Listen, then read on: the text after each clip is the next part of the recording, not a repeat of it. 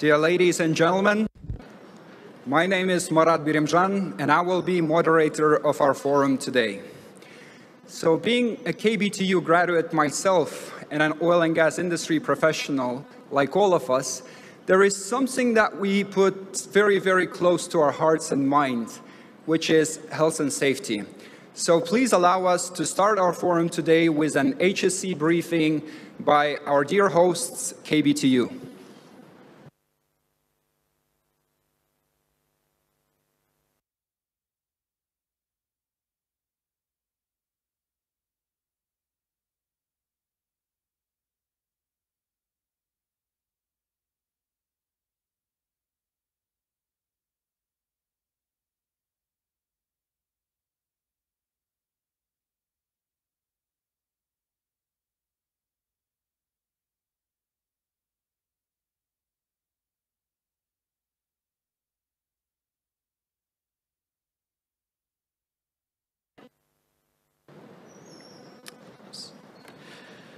Dear participants of the Youth uh, Forum, good day everyone. So the organization, committee and administration of KBTU warn that in case of emergency situations and dangerous events during you, your stay in this building, for emergency evacuation you need to proceed without causing panic to the emergency exit located on the left side of the balcony of the first floor of the Independence Hall also to the exit from the side of Tole Bi Street or to the main exits through the entrance groups located at the back of the Independence Hall, down the stairs through the entrance groups from the side of Kazybek Bi Street that is shown in the scheme. Thank you.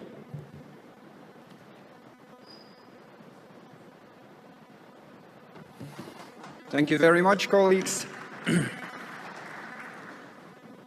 Your Excellency, President of the World Petroleum Council, distinguished guests, honorable speakers, ladies and gentlemen, the World Petroleum Council Youth Forum is a platform for youth professionals, for, for young professionals and industry researchers to share experience and cutting-edge achievements in the oil and gas industry. And after very successful events in Beijing, in Paris, New Delhi, Calgary, Rio de Janeiro, St. Petersburg, and now Almaty is very proud to host the seventh Youth Forum of the World Petroleum Council.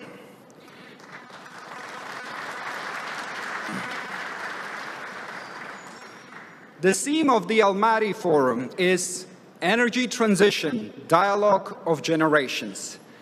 The role of the new generation in the consumption of a low-carbon, safe and secure energy future. And we have an absolutely amazing panel of keynote speakers with us today, led by His Excellency Mr. Pedro Miras Salamanca, the YPC President. We also,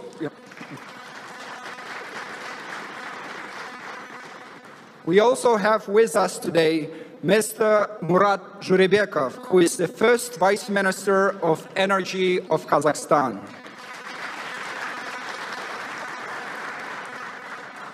It's a great honor for us also to have Mr. Jambolat Sarsenov with us today, the Vice Chair of YPC Kazakhstan National Committee.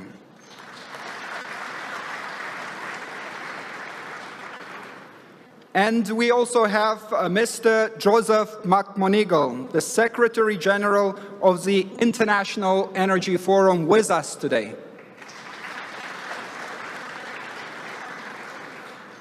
And also, of course, the, the, main, the main speaker, the representative of the youth at the Youth Forum, Mrs. Lisana Kurbanshoeva, the chair of YPC Young Professionals Committee.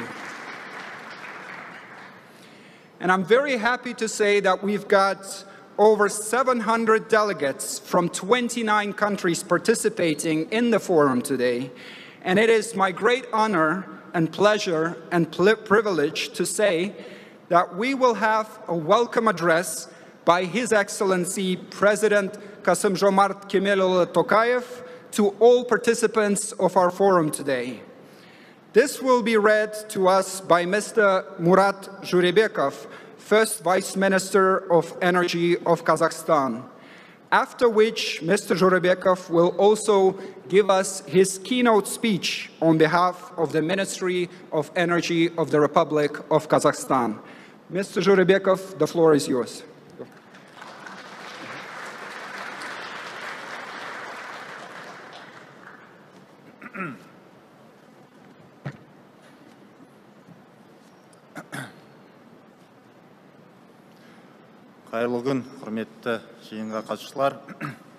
Good day, dear participants of today's meeting. Let me first of all read out the welcome remarks on behalf of the President of the Republic of Kazakhstan, Kassym-Jomart Tokayev. Distinguished participants of the 7th Youth Forum World Petroleum Council, I congratulate, congratulate you with the opening. This is a global dialogue platform that attracts young professionals from different countries to find new ways to accelerate to accelerate uh, development. The oil and gas sector plays a key role in the social and economic development of Kazakhstan.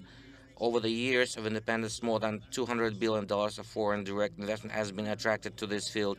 Today, we attach particular importance to the development of the gas and petrochemical industries. In October of past year, the largest polypropylene manufacturing facility in Central Asia, with a production capacity of 500,000 tons per year, was started. As a responsible country in the global energy market, we're deeply aware of the importance of climate issues and are consistently pursuing a decarbonization policy.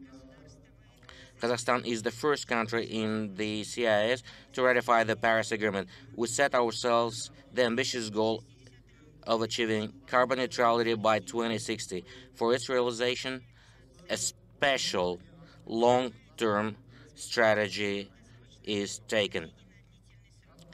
I am confident that young specialists and scientists will make a significant contribution to the development of the energy sector of new country. I wish you all further success and prosperity. President of the Republic of Kazakhstan, Kassym-Jomart Kemeluly Tokayev. The Youth Forum, on behalf of the Ministry of Energy of the Republic of Kazakhstan, I welcome you on the opening of the 7th WPC Youth Forum. I express my deep gratitude to WPC Mr. Salamanca for your trust and support in holding today's event in Kazakhstan, particularly in Almaty. The World Petroleum Council, founded in London in 1933 for almost 90 years, has been bringing together the world's best experts to discuss key issues in the oil and gas industry. Topic of today's forum is energy transition, dialogue of generations.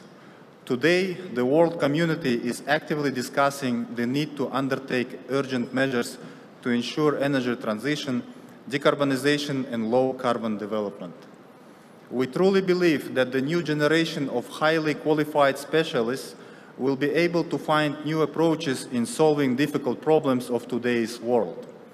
It is important, especially today, to pay great, great attention to supporting young professionals which is our future leaders. As you, as you well know, the oil and gas sector plays a strategic role for our country. We are one of the world's leaders in terms of oil reserves and production. Today, Kazakhstan is among the 15 leading countries in the world, possessing 3% of the world's oil reserves. For many years, almost all world oil corporations from United States, Europe, China, Russia, and other countries have been operating in Kazakhstan, recognizing the high potential and attractiveness of the investment climate in our region. Today, the world community is at the stage of searching for universal solutions for all parties to decarbonize the oil and gas industry. We understand that a consistent and gradual approach to decarbonization of the oil and gas industry depends on the large number of factors including technological, geoeconomic, regulatory, and others, and other factors. Currently, we are developing the strategy for, the, for reaching carbon neutrality in Kazakhstan until 2060. This is the first long-term document that is aimed at shaping a vision of the reduction of greenhouse and gas emissions in Kazakhstan. We pay great interest in developing cooperation in the field of renewable energy sources, uh, conversion of oil of coal-fired stations to gas, development of gas fields and gas processing, petrochem and hydrogen energy. These are the main areas that we will actively develop in the short term. Since 2018, the Republic of Kazakhstan has been using an open mechanism for international auctions based on equality, fair competition, and openness. For the period from 2018 to 2021, auctions were held in electronic format for renewable energy projects with a total capacity of 1.7 uh, thousand megawatts.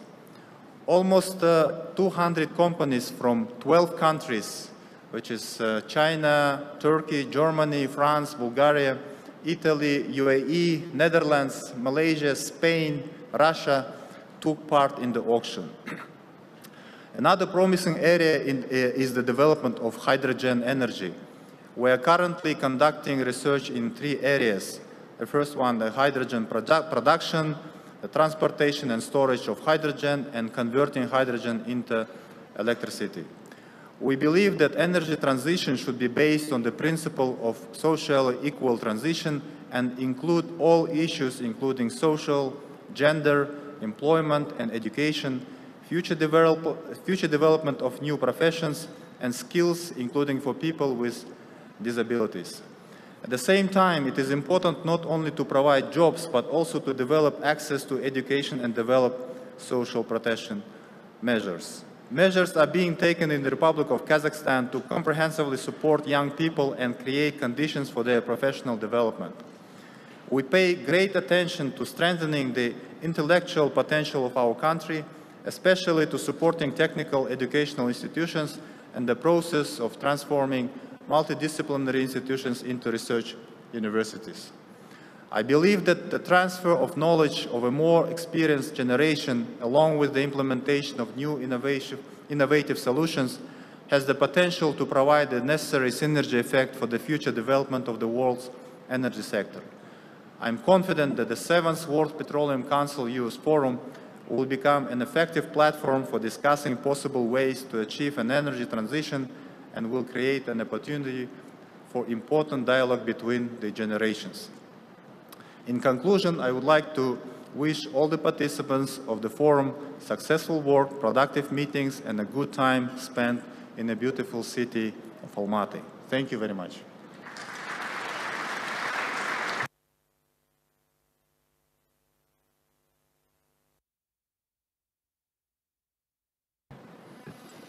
Thank you very much, Mr. First Vice Minister. Dear ladies and gentlemen, this was a very insightful and elaborate presentation of the work that the government is doing to develop our industry. And Mr. Murat Jurebekov highlighted all the relevant aspects in what we are doing in terms of developing upstream, midstream, downstream, all the, the whole value chain of the oil and gas, but also some new products like hydrogen and also very, very importantly, what we're doing in terms of energy transition and what we're doing in terms of providing trading, vocational training and education for students, for youth, for future oil and gas professionals. So thank you very much, um, Vice Minister, for this and all your hard work in terms of developing all these relevant sectors.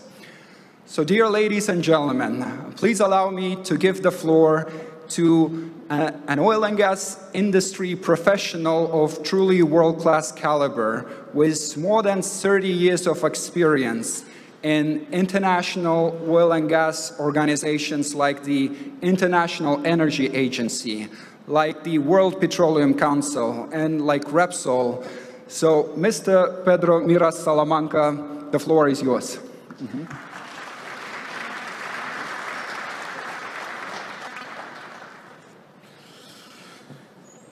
Excellencies, uh, delegates, and dear guests, the energy situation has changed very rapidly during the recent times, last year. Until 2020, it seems that security of supply and access to affordable energy was guaranteed, and all efforts should be focused on environmental challenge. And this is where the entire energy community had embarked for this quest, on the quest of the, for a just energy transition. However, in the last two years, the COVID pandemic and the conflict in, in, in Europe has reminded us that none of the three pillars of energy supply should be taken for granted. Clean and sustainable energy with security of supply and at affordable prices is still the equation to be solved. And we must do this in an environment in which, moreover, the perception of part of the society has of our industry and how we do the things is not the best, and which the end of hydrocarbon is predicted by near. In this regard, let me say that the world will continue to need our participation for a long time to come. The world's population is approaching 8 million people, which means that energy demand will continue to grow. And in this scenario, hydrocarbons will continue to play a major role. Indeed, in the la latest data for the International Energy Agency forecast, oil demand of 99.5 million barrels per year by the end of 2022, equivalent to the 31% of the world primary energy demand, which will be around 107 million barrels per day. And the agency's future projections are showing exactly the same. And with regard to natural gas, the picture is quite similar. We share in the total energy matrix close to 25% of the consumption of around 4,086 BCMs by 2020, higher to the pre-pandemic figure that is close to 4,000. On the other hand, the consumption situation is very unbalanced, with geographical areas of high energy use, computers, high condition, massive use of transport, and many other things, and compared to others with very limited or non-existent access. It is estimated that around 1 million of the planet's inhabitants still do not have access to electricity. Providing this vector of developing this to the entire population is a very high responsibility and the participation of traditional energies in a responsible manner seems essential. And this for this reason, it does not seem obvious to think that the disruptive substitution of the hydrocarbons consumption will take place in the near future. However, the transition towards a decarbonized world, world that protects our planet from the effects of the greenhouse gases is a goal assumed by the society as a whole, including the oil and gas sector that today is here. And to this end, companies have committed themselves and are reorientating their strategies based on process, products, and services that contributes to this achievement. But all of this must be done without forgetting that the three pillars that support energy system are essential and must be well balanced. In short, we are looking for new solutions for the same old challenges. And let me tell you that it, would not, it will not be a single and simple solution it will be for sure a group of different technology-based solutions that will solve the equation. This is the challenge of our industry must face in the coming years. And this is where the World Petroleum Council has an essential role to play. This is because our activities have always been based on an open and inclusive dialogue that gathers as many points of views as possible without prejudging or having preconceived positions. In this sense, the renewed approach of the WPC embodied in its strategic plan consolidates this vocation. Thus, after a long reflection initiated in the cycle of the 23rd Congress in Houston, it will be here in Almaty that the plan will be approved. The seven strategic lines that comprise it are based on the WPC vocation to be the main arena for discussion of the challenges that the energy sector requires, to be recognized as a premium global forum facilitating an open dialogue around oil, gas, and energy and their products is the mission of the WPC has adopted for the future. Therefore, the World Petroleum Council family, which will be 90 years old next year, Almaty will be a name forever linked to the evolution of this institution.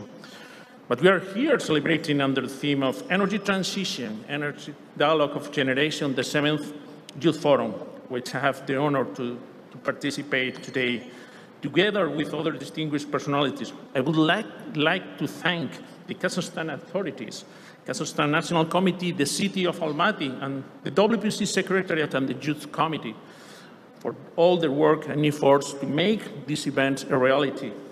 Given the program, speakers, and sessions, I can already anticipate that it will be a huge success.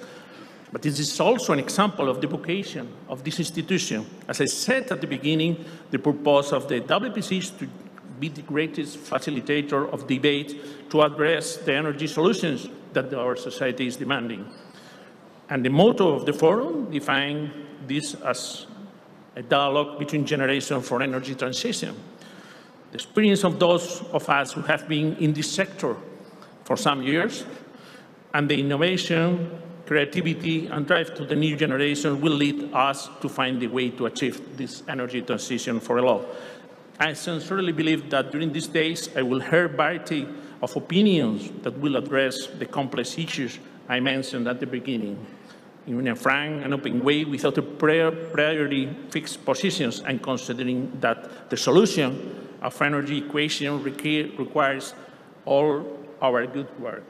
Let me say a few words to the young people that are the, the, the protagonists of this. It's in this framework that with the participation of all of you young people of the WPC is fundamental. It is a matter of gathering your vision, your perspective, your concerns, and your proposal for solutions. We need your reflection in order to continue searching for the transition toward a more sustainable energy model that does not take for granted the rest of the variables that sustain a healthy energy system. But not only that, we also demand an active role from you in some aspects. We need your demand for the continuous improvement of our quality standards in terms of social responsibility, and also the dissemination of the benefits of our sector, nowadays questioned in many forums. You have an obligation to demand continuous improvement in the application of the best practice in environmental, corporate social responsibility, and governance matters in order to ensure that our industry is recognized as being the forefront in these areas. This is because your status naturally makes you more permeable to new social demands and quicker to assimilate them.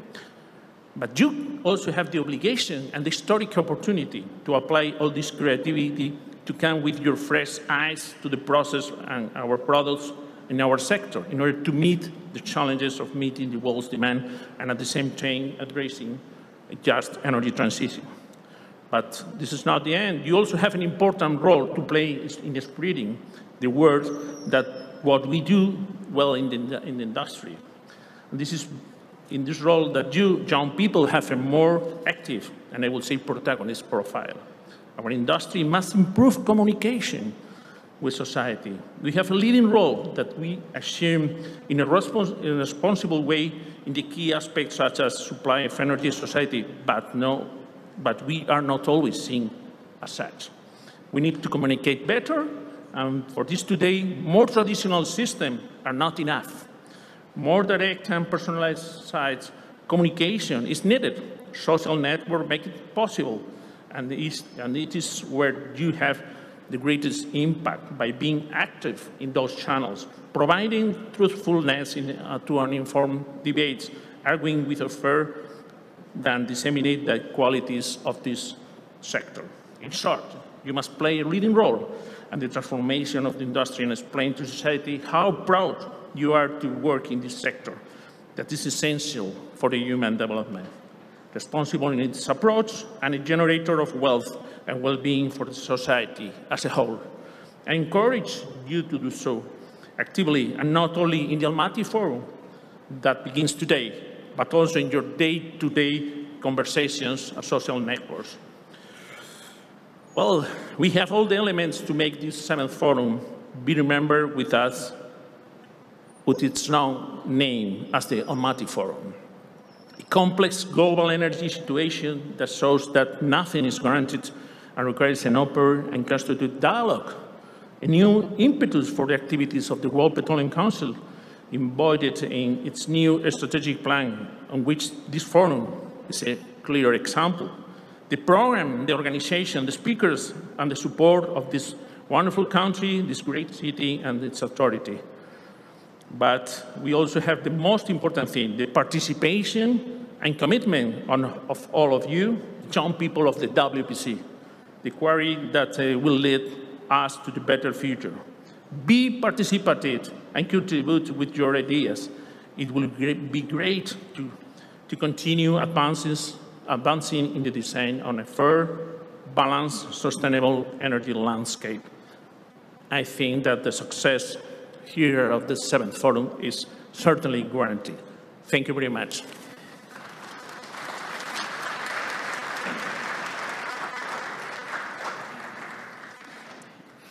Thank you very much, Mr. Salamanca, for such an insightful presentation of the whole macro overview that our industry is facing today. I've uh, written down some, some notes from your presentation and thank you very much for sharing your industry wisdom and experience and explaining some of the very complex and complicated things in a very simple and clear manner, especially to our young audience, the Youth Forum participants. So you mentioned the three pillars of energy system. You mentioned the challenges and the headwinds that the industry is facing, but also the opportunity that we can tap on. Also, you spoke about energy transition and energy solution. And we all know that the WPC is about vision, perspectives, concerns, and solutions for the oil and gas industry. So thank you very much for everything that you did for our uh, participants today with regards to sharing your experience and your vision and your insights. Thank you. Um, so, uh, dear ladies and gentlemen, um, as you know, Kazakhstan National Committee of the World Petroleum Council is the organizer of the seventh Youth Forum of YPC, and Kazakhstan National Company has been a very active participant of WPC since 2008.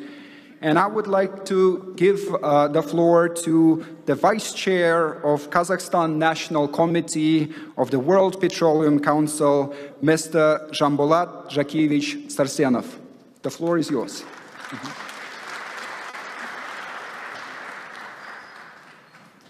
Thank you, Marat. Your Excellencies, uh, dear forum participants, dear friends, colleagues, Holding such a, an important uh, uh, and honorable event is a great development for the region.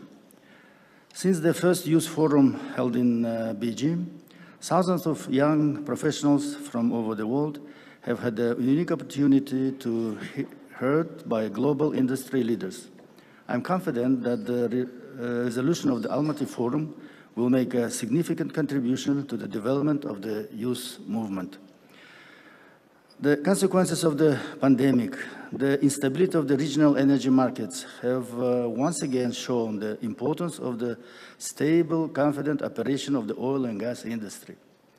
The supply of uh, affordable energy to consumers with uh, minimal environmental impact in the modern world to ensure the uh, energy and environmental uh, security of the planet we need balanced, uh, responsible actions of the all market participants, both producers and consumers, uh, with long-term perspective for the sustainable development of all countries to ensure the better future for all the nations of the earth. The topic of discussions of the Almaty Forum is extremely relevant to the, for us and future generations. The, cur the current stage of the development of the industry indicates the needs to industry, the surge, the opportunities for the wider introduction of the advanced technologies with the involvement of the clean and safe energy sources in the energy mix. At the same time, technological transformation affects the entire energy chain for the production and transportation to processing and uh, consumption of the energy resources. I would also like to mention science and the role of scientific and technological progress. A new generations of managers and young scientists faces uh, serious challenges to adapt the, and improve the existing areas of low carbon energy to the technological capabilities of the, our time. I hope that the participants of the 7th WPC Youth Forum will be able to open the expert community, to the expert community, the new faces of integrated solutions to shape the uh, countless of the global energy sectors in the, of the 21st century.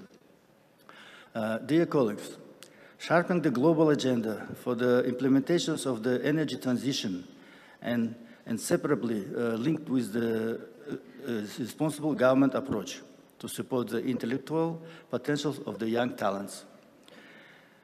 It's great, gratifying that uh, all conditions have been created in the Republic of Kazakhstan since independence, so that highly qualified human capital is formed in the labor market, in the sector of the economy, technologies, in the industry, uh, uh, supplemented by the scientific and applied research. And the level of the management is raised in the accordance with the new market trends and needs. The President of Republic of Kazakhstan systematically implements a strategy to support Kazakhstan youth and increase investment in the human capital development.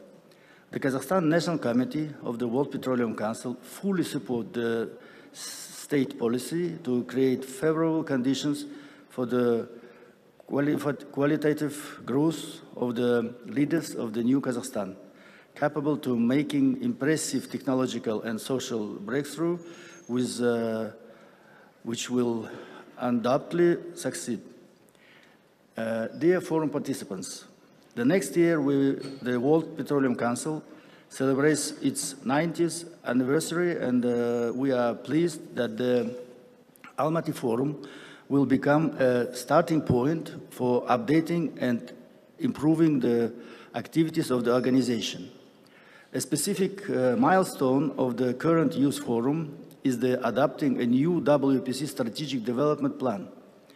I'm confident that the reliable history of the World Petroleum Council, coupled with bold uh, ideas of the young professionals, will make it possible to intensify our joint activities and set the necessary uh, impetus for the successful implementation of the development plan of the World Petroleum Council. Dear colleagues, Kazakhstan is one of the experienced and active member of the World Petroleum Council. We have tried to create the best conditions for your comfortable stay in our country and uh, fruitful work uh, on the sidelines of the Youth Forum. Welcome to the southern capital of Kazakhstan. I wish all participants to be, to, of the, of the, all the participants of the event, uh, productive work and uh, important achievements. From my side, especially I would like to uh, dedicate special thanks and uh, words of the uh, thanks to the, our member, member uh, companies of the National Committee. The support of the companies was so great and we was able to, uh, in a short period, to uh, establish the team and organize the big uh, and important event for uh, our uh, youth, young generation in the frame of this university. It's the historical place, is the historical events was happen in this uh, auditorium, and I hope that the young generation has, uh, has blessed to have and achieved the big and uh, great uh, achievements in the new practical work. Thank you very much.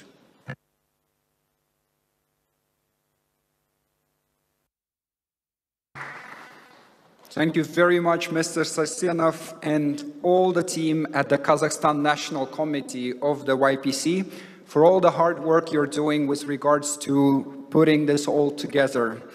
And I particularly liked in your speech the, uh, the highlights and the importance of the technological transition. So not only energy transition, but technological transition for energy transition and some other enablers that would help us to transition to a cleaner energy future.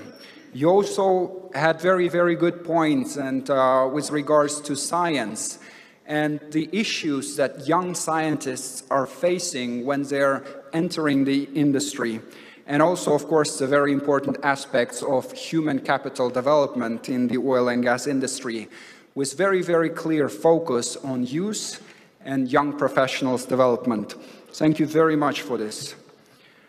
Dear ladies and gentlemen, please allow me to give the floor to our next keynote speaker, Mr. Joseph McMonigle, Secretary General of the Ener International Energy Forum. So Mr. McMonigle has more than 20 years of experience in government and energy sectors. He was president and founder of the Abraham Group, which is one of the leading international energy advisors in our industry, and also has spent many, many years of hard work at the Ministry of Energy of the United States. Mr. Joseph McMonigle, the floor is yours. Mm -hmm.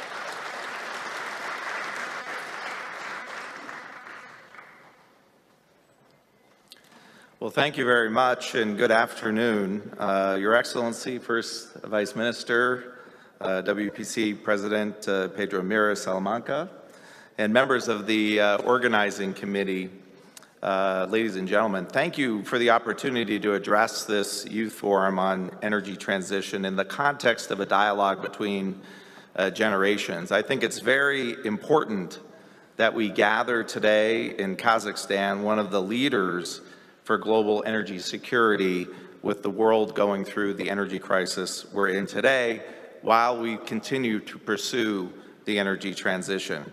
So in my remarks today, I'll start with an overview, I think, of the current energy market dynamics and then focus on the future, on three priorities for the future for policymakers as we enter a critical phase for recovery, stability, and security. First, a little background on the IEF. Many of you may not be familiar with the International Energy Forum. We're 30 years old uh, this year.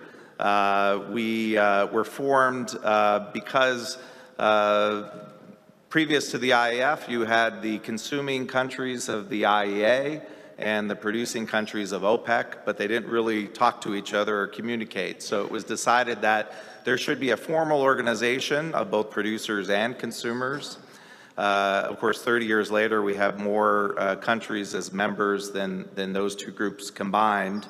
But the Secretary uh, General of OPEC and the Executive Director of the IEA are on my executive board. Uh, so while we're the consuming and producing countries organization, I also find that we are increasingly the developed and developing world uh, organization as well. We have over 30 countries from Africa who are members and very much care about all the developing uh, issues as it relates to the transition and energy security. And finally, we also host something called JODI, which is the Joint Organizations Data Initiative. It stores uh, all the production and consumption data for all the countries uh, we provide it for free. Some, as you may be aware, some of the other uh, organizations don't give it for free. They actually charge you for, to, to get the information, but we make the information available for free. Prior to me becoming uh, Secretary General, all we did was put it on the website for everyone to see it, but now we're actually taking some of the data that we get from JODI and doing some analysis with it. So as, as you see reports that, that we do, we're increasingly relying on JODI data, and every month we produce uh, an analysis of the, of the latest data.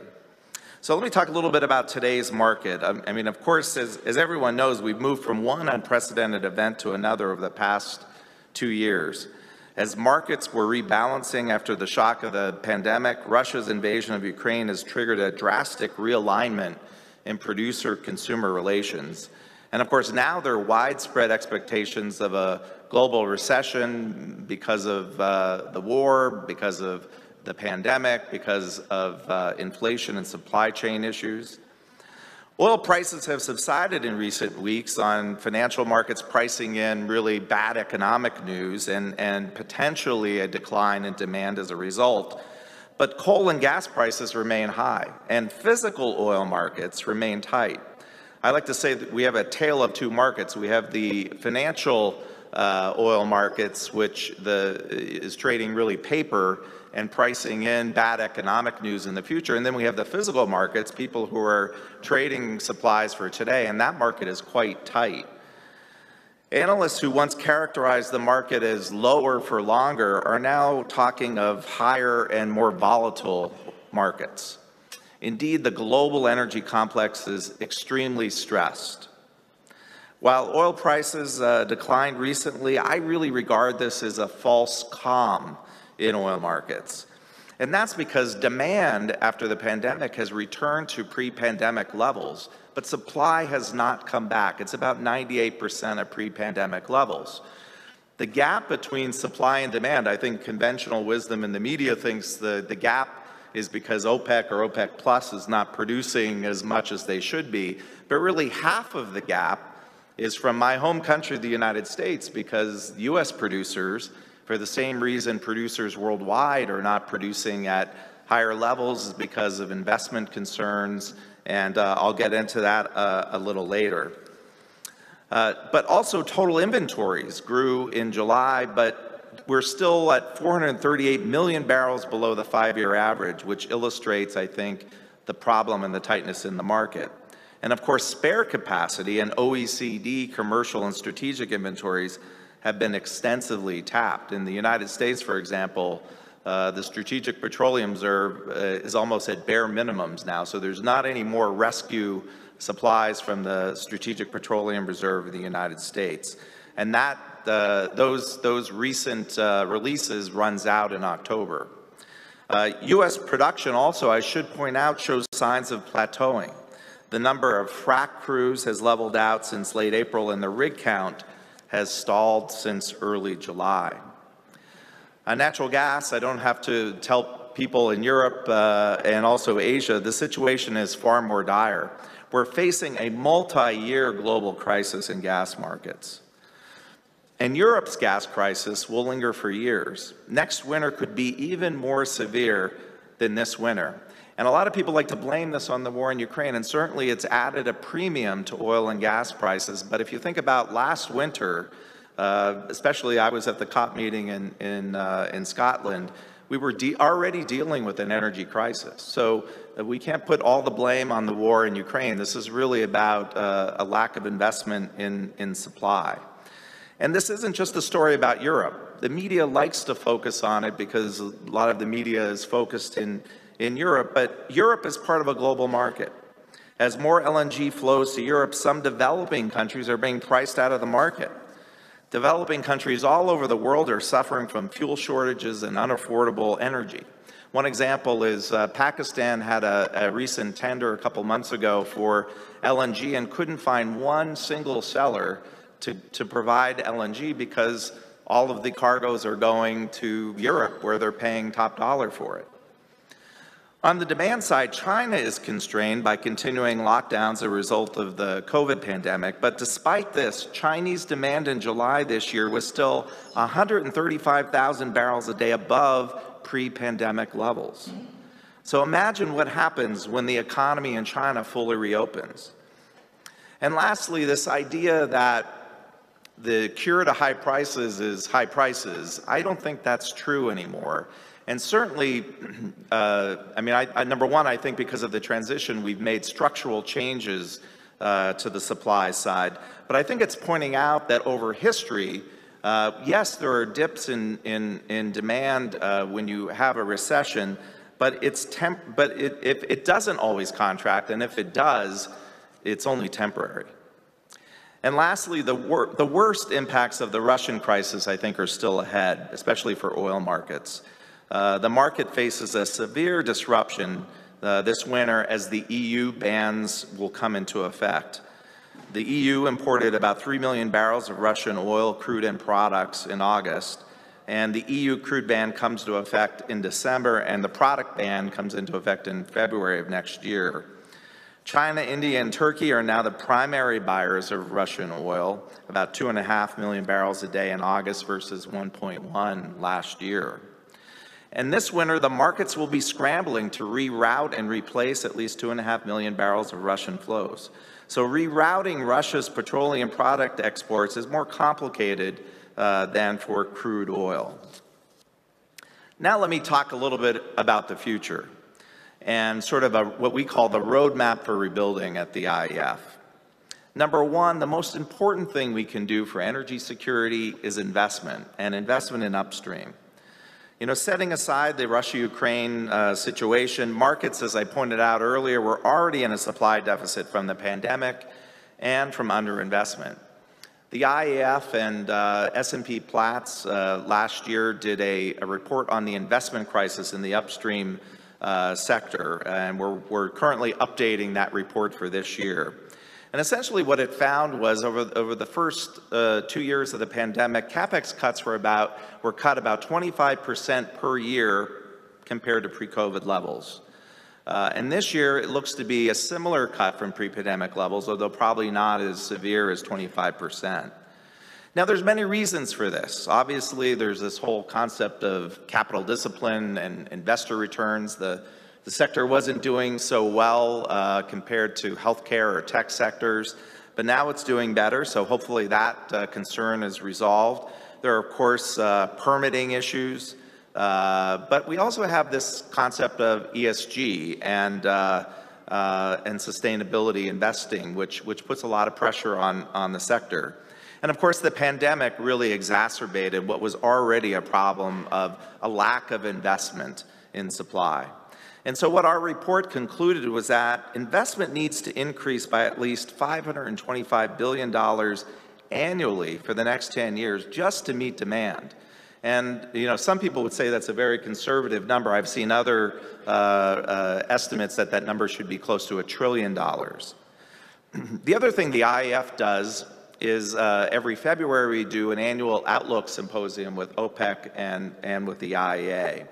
And essentially, I call it the battle of the energy outlooks. Uh, uh, the OPEC and IEA will give their short, medium, and long-term views of, of energy outlook and as we meet our goals for the transition. And essentially, the difference between the different outlook scenarios, not just of OPEC and, and IEA, but we incorporate companies and IRENA and, and, and a lot of private sector outlooks, so there's probably like 40 different outlooks. But the difference between the highest and lowest demand for oil in 2050, based on all sorts of models and scenarios, is about uh, 100 uh, million barrels a day. And that's about the size of today's oil market. So if you're a company looking to make investment decisions as a policymaker or, uh, or, or, or, if, you're if you're a company looking to make an investment decision or a policymaker looking to make decisions on energy roadmaps, how do you make these decisions with such great uncertainty about where the market's going in 2050? You may ask yourself why, you may think it's strange that the president of a, or the secretary general of a, an international energy organization uh, is, is talking about investment in upstream. And I say it because I care about the energy transition and progress on climate. I'm very worried that if the public starts to equate high energy prices and volatility with the transition or climate policies, we're in big trouble. I know, at least in my country, in the United States, if, if the public starts to lose support for something that's so existential to their daily lives, it'll be very hard to get that support back. So we need to manage the transition, to power the economy, to address energy poverty, and keep continued progress on climate. Another component of the roadmap to rebuilding, the second component, is really technology. And that's why I'm excited to be here today to speak to, the, uh, to this, this youth forum. Uh, yes, we need more wind and solar, but according to the IEA technology report of uh, 2020, wind and solar only get us halfway to meeting our uh, uh net zero goals by 2050. We need new technologies, technologies that are not even commercialized and not even envisioned in some cases, enable, to enable us to get the other half of our climate goals. So the reality is there's no current alternatives to hydrocarbons. And we need more clean energy R&D by governments and by companies. Um, and I think this is why it's so exciting that you have a very robust uh, youth forum uh, component of the WPC because we need more young people to work for energy companies. If we want to scale up these transitions that are going to be developed in technologies and uh, those that are in, in commercialization phases right now and those that aren't even invented, we need young people, brilliant minds to join these companies, and we need energy companies, the big energy companies of today, to help us scale up these solutions. And two of these solutions are CCUS, carbon capture, use, and storage.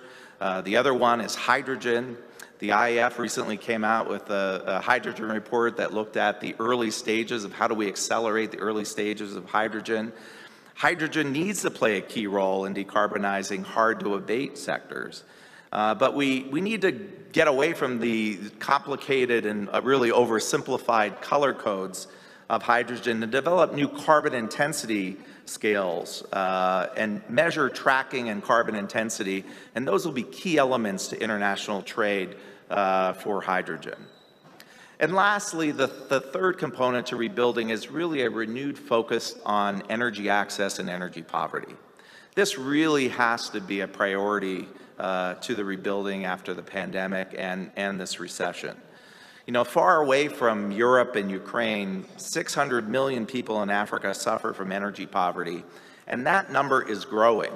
The World Bank uh, recently said a couple months ago that uh, the pandemic has actually made that worse. We were actually making progress, and that number was was contracting, but now it's actually grown by about 90 million uh, people.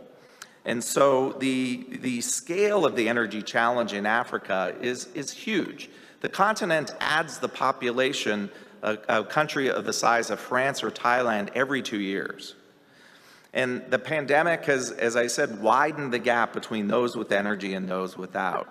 And the West often looks at this issue through their lenses of what they know about energy and energy efficiency in, in European and, and US and other Western countries but often they don't really understand it. Let me just give you one example. Heathrow Airport in London consumes more energy than the entire country of Sierra Leone. You know, one African minister joked to me recently uh, at an energy conference in Nigeria that uh, we can decarbonize after we carbonize. And indeed, African countries are already net zero. They need energy for development, for life. At a lot of energy conferences that I attend, and I know everyone here attends these conferences, I hear a lot of this term, we, well, we have to be careful about the transition because of stranded assets. Well, I think we need to be worried about stranded lives, stranded lives in Africa right now. And uh, with widespread energy poverty in the world, we can never achieve sustainable growth and a just and fair energy uh, transition. So we're advocating for energy poverty and energy access at the IEF to have the same focus that the world gave to the pandemic, fighting the pandemic and achieving vaccines, and the same focus and emphasis we give uh, to climate uh, progress. And it really needs to be a priority on that level. So finally, at the IEF, we're, we're, receiving a growing chorus of demands from our 71 member countries to really conceptualize a new approach to addressing carbon emissions that pays much more attention to energy security and market stability and this issue of energy access. And indeed, the G20 leaders last year in Rome called on the IEF to intensify a global dialogue on this very uh, topic. So as a result, we're in the process of launching a new initiative across a range of stakeholders, including energy producers and consumers, uh, industry, think tanks, and civil society to explore new approaches to address carbon emissions that emphasizes energy security and market stability. I hope Kazakhstan will join us in this vitally important uh, global energy dialogue, and I'm working on trying to get uh, the minister uh, to join uh, the IEF, and, and uh, we've already had some positive discussions, and, and I, I look forward to those continuing. But I'd like to thank you once again for the opportunity to address this important conference and wish you the very best in your deliberations and program here. Thank you very much.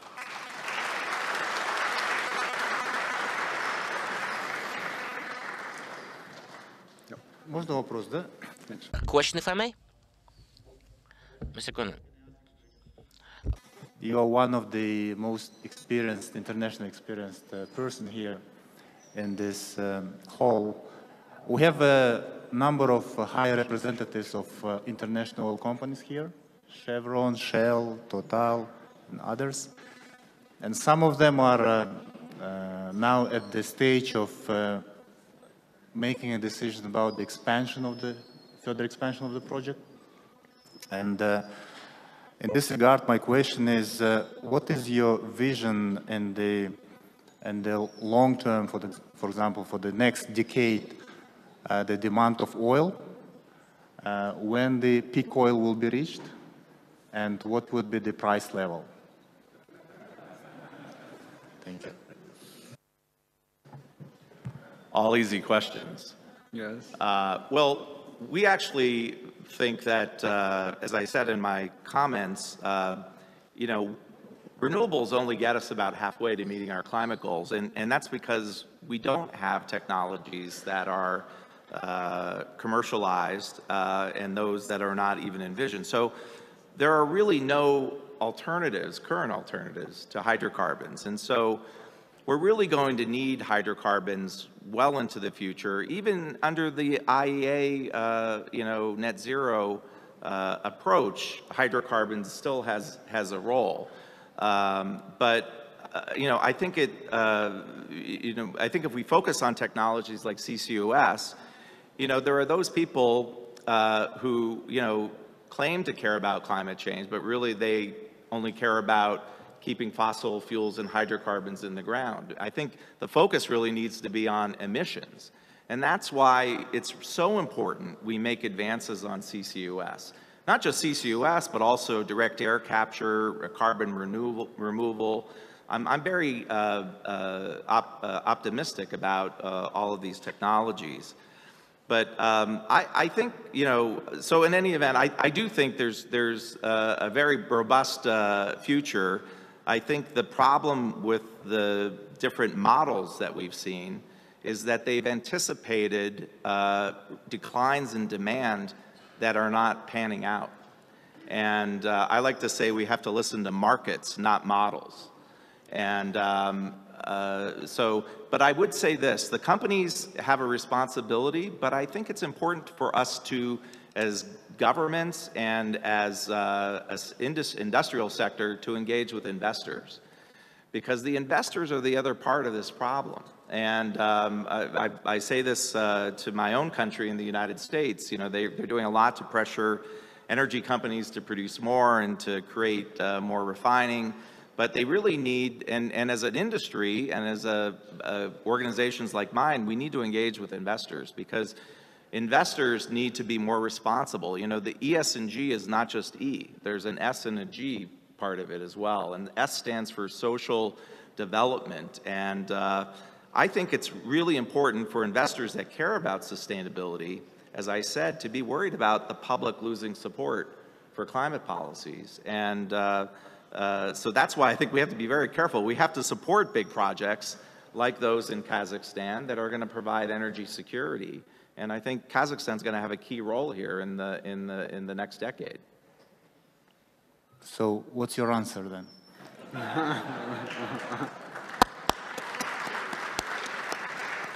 you know, your answer can change the Kazakhstani oil industry in the next five years. If you answer, if your answer will be positive. Well, if I were on the investing side, I would be very uh, bullish on, on Kazakhstan, the need for hydrocarbons. But the question is about the global demand. What do you think? You, you, you told about China that is still uh, not uh, consuming at, at, full, uh, at full level. So, uh, and in the next decade, with this, uh, in, I mean, with this geopolitical situation in the world, with this uh, pandemic consequences, et cetera, et cetera. So what would be the oil demand in the next 10 years? and whether the peak oil is shifted or not. Yeah, I don't, I don't, I don't, you know, I think this concept of peak oil, there's actually an opinion piece in Bloomberg today saying it's already arrived, which I, I strongly disagree with.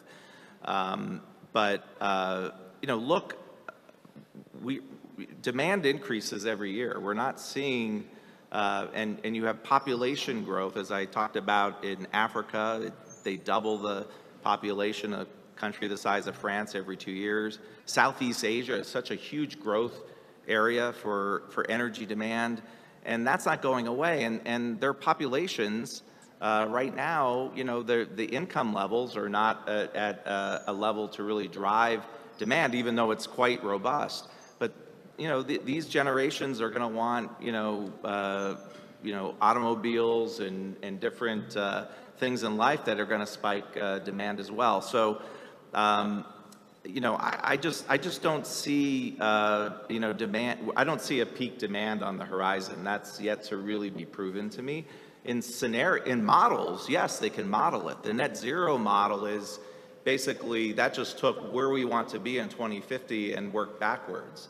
It didn't really have a thoughtful analysis of what will happen to demand. Um, and so uh, uh, you know, until, until we get and develop these technologies, and by the way, one of the technologies is CCUS, which is going to keep the industry as a vital component well into the future.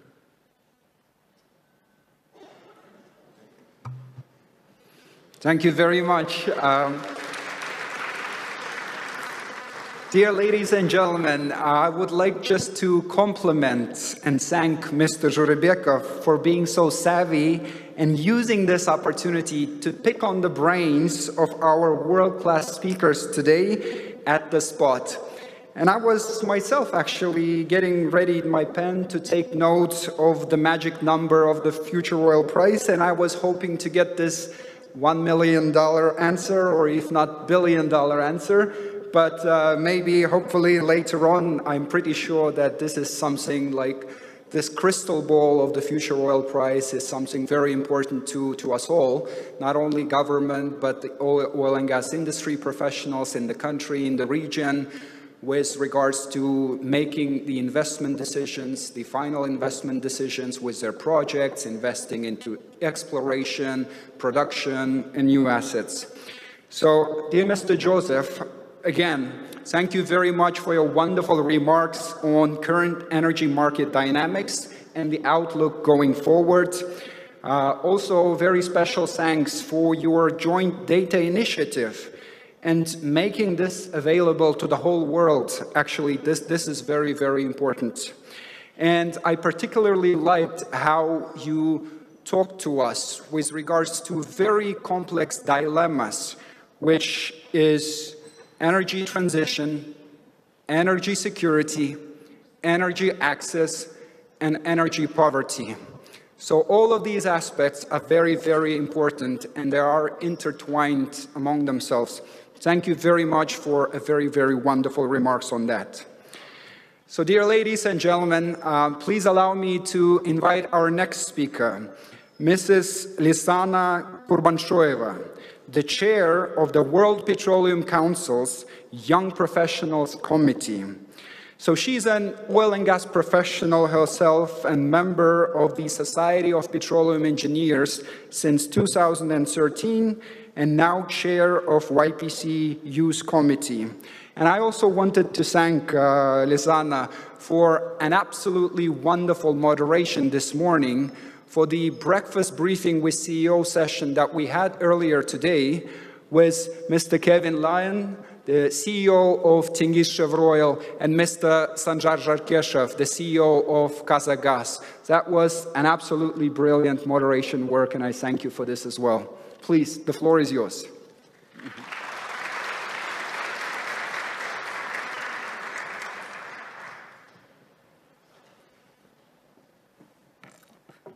Thank you very much, Marat.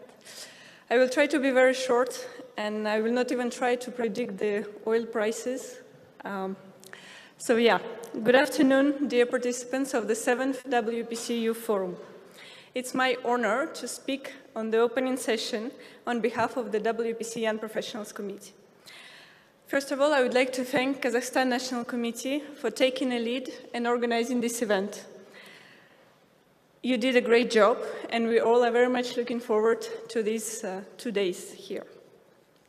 WPC Youth Forum is a unique platform that allows us to bring hundreds of participants from all over the world and to initiate the discussion around our industry, to help us to grow our network, and also to make sure that the voice of young generation is heard by industry leaders and decision makers. I strongly believe that initiating and maintaining such dialogue is a key to solving energy industry challenges, even more in such a turbulent times that we are living now with numerous instabilities. When I look back to June 2019, when we had the sixth WPC Youth Forum in St. Petersburg, I get a feeling that it was in the other life. Since then, in addition to all industry rapid transformations, we lived through global COVID pandemic, which undoubtedly changed and transformed our societies and also our ways of life. Now, we are all experiencing shocking geopolitical crisis in Ukraine, but also in some other parts of the world. With all these instabilities, it seems that more than ever, the questions of energy access, affordability, and security are at the top of the global energy agenda. And in addition to above-mentioned points, our society is still facing and fighting a major global and collective challenge, a climate change.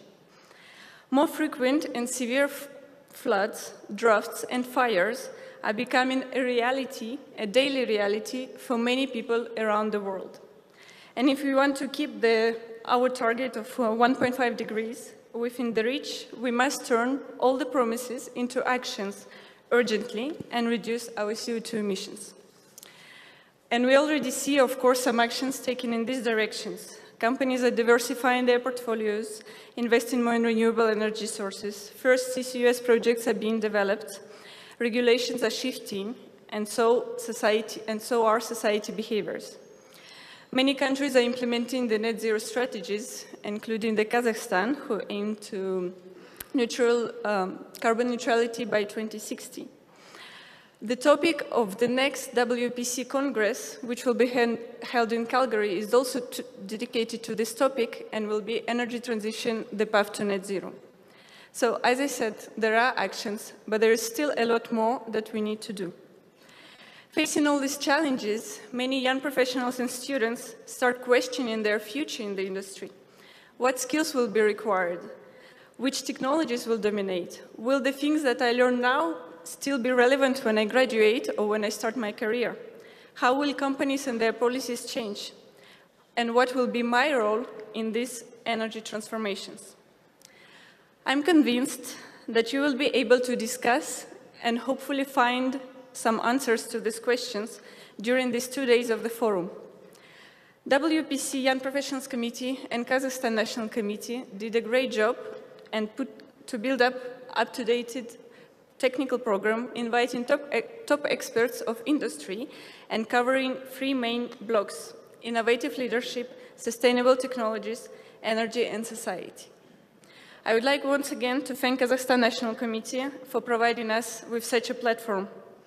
But I would also like to thank the whole International WPC Young Professional Committee for your contribution to this success. And to addition to that, to all the members of our committee who on the daily basis, in addition to their full-time job, uh, leading and managing our projects, such as mentoring program, survey, magazine, and YP Connect. It's always inspiring and motivating to see the team of young professionals and students volunteering to shape the global energy future by bringing together the passion and talents of industry, young professionals, students, and emerging leaders. In everything we do within the YPC committee, we are aligned with our priorities.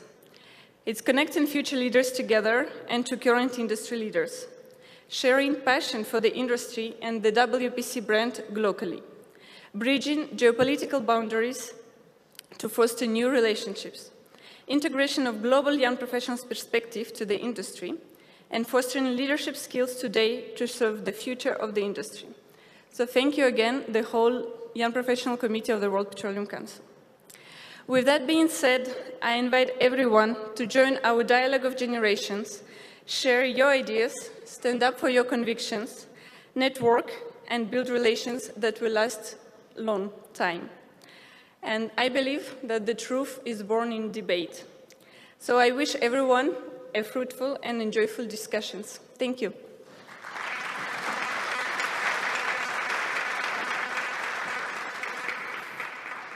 Thank you very much, Lisana. Um, thank you very much for your wonderful address directed specifically towards our youth, the young professionals and answering some of the very key questions they're facing today. What skills will be required? What technologies will game change our oil and gas industry going forward? And what would be my role in this? So I, am pretty sure that uh, your presentation and your messages will be very, very useful to our young professionals. So now, dear ladies and gentlemen, please allow me to close our forum today with a very wise thoughts of two philosophers, I would say. The first one is a very well-known philosopher, Mr. Al-Farabi, who once said that choosing the right path starts with choosing the right step. So it is very important to us that we make the right steps towards, towards bright energy future that would also include and encompasses all the relevant messages that our speakers today have mentioned. The second uh, is not a philosopher, but uh, I believe is a very, very wise man, Uncle Ben of Spider-Man, who once said, with great powers comes great responsibility. So I believe that with you, our future oil and gas professionals and oil and gas leaders and energy leaders, it is up to you and it is your responsibility to do more, become more, and work more and study more in order to secure bright energy future for not only us here in Kazakhstan, but globally. So with that, again, please allow me to thank our wonderful and world-class panel speakers today, and thank you very much all for participating. Thank you.